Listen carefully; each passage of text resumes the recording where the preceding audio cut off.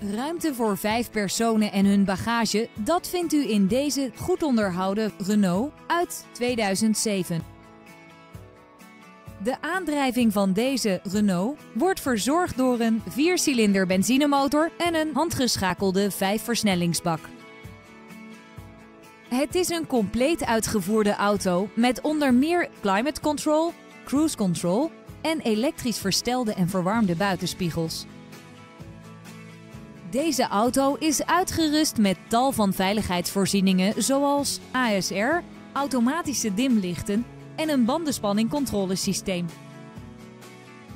Is uw nieuwsgierigheid gewekt? Bel ons dan snel om deze auto te komen bekijken.